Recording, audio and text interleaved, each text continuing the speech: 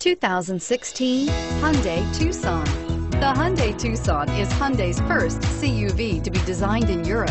Tucson takes the boxy utility vehicle and transforms it. With flowing curves, graceful lines, and style to spare, it's the future of the crossover and is priced below $30,000. This vehicle has less than 100 miles. Here are some of this vehicle's great options. Stability control, keyless entry, traction control, anti-lock braking system, steering wheel, audio controls, backup camera, Bluetooth, power steering, adjustable steering wheel, driver airbag. Is love at first sight really possible?